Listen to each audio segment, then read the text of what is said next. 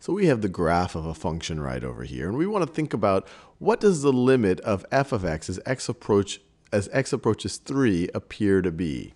And to do that, let's just think about the limit as x approaches 3 from values less than 3 and from values greater than 3. So what, let's first think about the limit of f of x as x approaches 3 from values less than 3. So this little negative su superscript says we're going to approach 3 from below 3, from 1, 2, 2.5, 2.99, 2.999.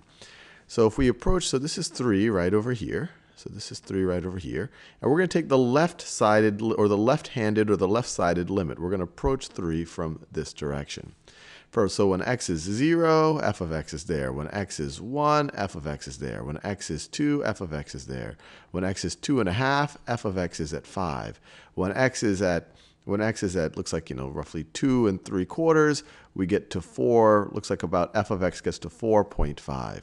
And so it looks like as x approaches 3 from values less than 3, it looks like our function is approaching is approaching 4. So I would say it's look, it looks like the left-sided limit of f of x as x approaches 3 is 4. Now let's do the same thing for the right-hand side.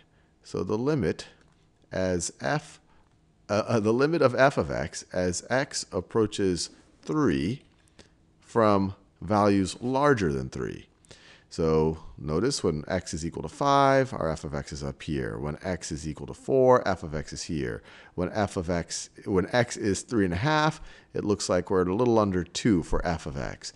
And it looks like we're getting closer and closer as x approaches 3 from the positive direction, or from the right side. It looks like f of x is getting closer and closer to, is getting closer and closer to 1.